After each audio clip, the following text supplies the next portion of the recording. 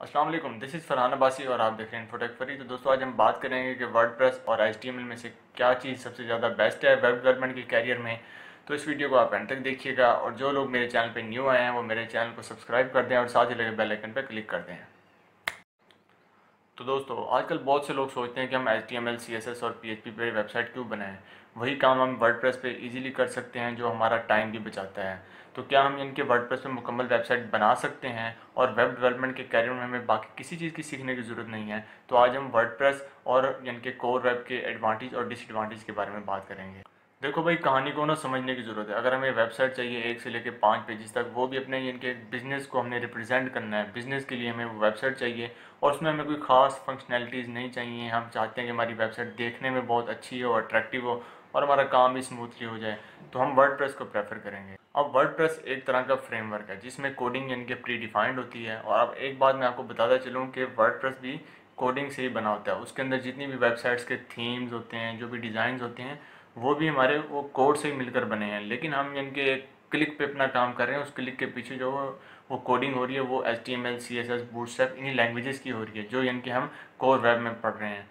मतलब ये लैंग्वेज को हमारे लिए आसानी पैदा की गई है कि उन्होंने एक मैनेजमेंट सिस्टम बना दिया, उस पर हम एक क्लिक के थ्रू अपना काम कर सकते हैं। अगर मुझे बेसिक वेब बनानी है और मैं चाहता हूँ कि मेरा काम भी छोटा सा हो सिंपल से काम हो जाए और देखने में भी अच्छी हो, और उसमें मुझे जो फंक्शनैलिटीज़ रिक्वायर्ड होती हैं, उसके लिए मुझे प्लगइन इंस्टॉल करने पड़ते हैं वर्ड के अंदर।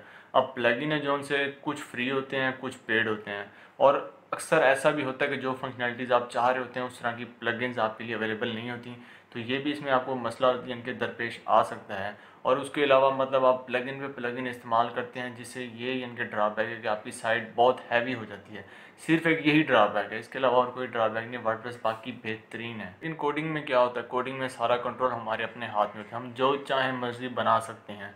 लेकिन इसमें यह कि हमें ये टोटली स्क्रैच से शुरू करना पड़ता है। उसमें हमें प्री डिफाइंड कोड्स मिल जाते हैं प्लगइन्स मिल जाती हैं फंक्शनलिटीज़ मिल जाती हैं, उन पर काम करना आसान हो जाता है। लेकिन यहाँ पर काम करना थोड़ा सा मुश्किल है। इसमें मुश्किल यही है कि आपको टोटल जो काम करना पड़ता है, वो स्क्रैच के थ्रू करना पड़ता है। वहाँ पर हम प्लगइन्स यूज़ कर रहे होते हैं। यहाँ भी हम कुछ टूल्स यूज़ करेंगे, लेकिन कुछ फ्रेमवर्क यूज़ करेंगे। इसमें भी वो फ्रेमवर्क वो लैंग्वेज के तौर पर हैं। इसमें भी आपको मतलब कोड करना ही पड़ेगा। और अगर आप ऐसी चीज़ बनाना चाहते हैं जो दुनिया में बिल्कुल यूनिक हो, वो ऐसी चीज़ दुनिया में एग्जिस्ट ही ना करती हो तो आप इनके कोडिंग के थ्रू वो काम कर सकते हैं। और यही इनके डिफरेंस है मेजर डिफरेंस है कोडिंग में और वर्ड में कि कोडिंग में आप अपनी यूनिक चीज़ जो आप चाहते हैं स्पेसिफिक चीज़ वो आप बना सकते हैं, जो आप वर्ड पे नहीं बना सकते। आप कोडिंग में चैट बॉक्स बना सकते हैं एप्लीकेशन बना सकते हैं और काफ़ी सारी इनकी यूनिक चीज़ें बना सकते हैं जो इंटरनेट की दुनिया में एग्जिस्ट करती हैं। और अगर आप वर्ड्स पर वर्ड प्रेस पर लगे रहेंगे तो आप वर्ड प्रेस पर सिर्फ़ वेबसाइट ही बना सकेंगे।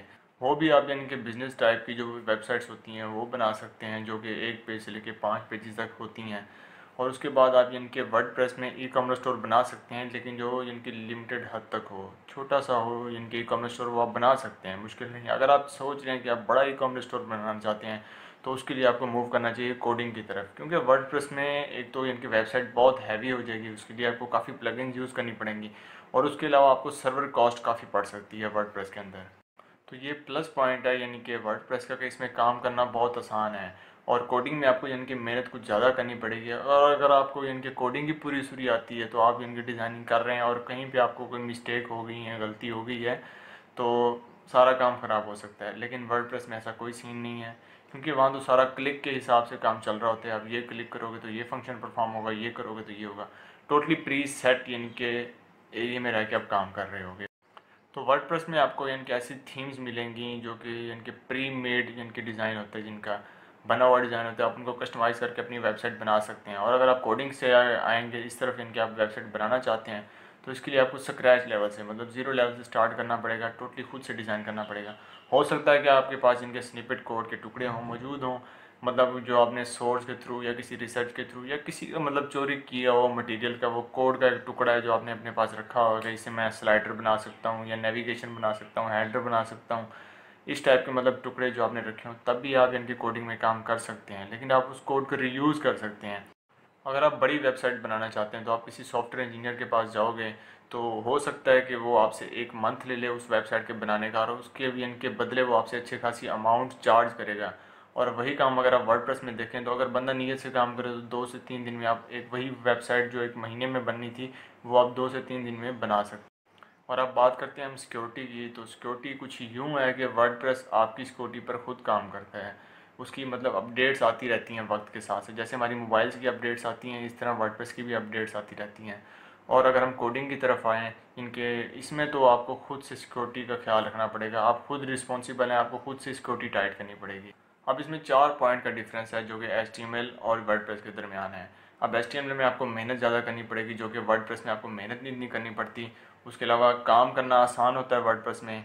इसमें काम करना थोड़ा मुश्किल होता है। बाकी लेस टाइम रिक्वायर्ड होता है वर्ड के अंदर, इसमें आपके लिए काफ़ी टाइम इनके लग जाता है। और सिक्योरिटी की बात की जाए तो वर्ड के अंदर सिक्योरिटी का रिस्पॉन्सिबल वर्ड खुद है और इसमें रिस्पॉन्सिबल आप हैं कि आपने अपनी सिक्योरिटी का ख्याल रखना है। अब आपने बताना है कि आपके लिए क्या अहम है अगर आप बेसिक सी वेबसाइट बनाना चाहते हैं, अपने बिज़नेस के लिए ब्लॉग साइट बनाना चाहते हैं तो उसके लिए आपको वर्ड की तरफ़ जाना चाहिए। वर्ड आपके लिए बेस्ट और सॉलिड ऑप्शन है। और अगर आपके दिमाग में यूनिक आइडियाज़ हैं तो आप उन आइडियाज़ को इम्प्लीमेंट करना चाहते हैं दैन आपको मूव करना चाहिए कोडिंग की तरफ़ और कोडिंग में ही अपना कैरियर बनाना चाहिए। आप अगर इनके यूनिक आइडियाज़ हैं, वही आप इनके वर्ड पे भी इम्प्लीमेंट कर सकते हैं, क्योंकि वर्ड में भी आप, अगर आपको कोडिंग आती है तो आप उनकी जो प्री डिफाइंड जो थीम्स होती हैं, उनको भी आप कस्टमाइज़ करके आप एक अच्छा वेबसाइट का डिज़ाइन कर सकते हो। तो ये काम वर्ड में भी आपके पास हो सकता है, अगर आपके पास नॉलेज हो कोडिंग का।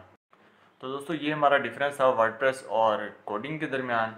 तो अब ये आपने डिसाइड करना है कि आपने किस साइड पे जाना है, क्यों, क्या चीज़ आपके लिए ज़्यादा अहम है। वीडियो अच्छी लगी हो तो वीडियो कर दीजिए लाइक चैनल कर दीजिए सब्सक्राइब तो आज के लिए इतना ही, मिलते हैं नेक्स्ट वीडियो में। Good bye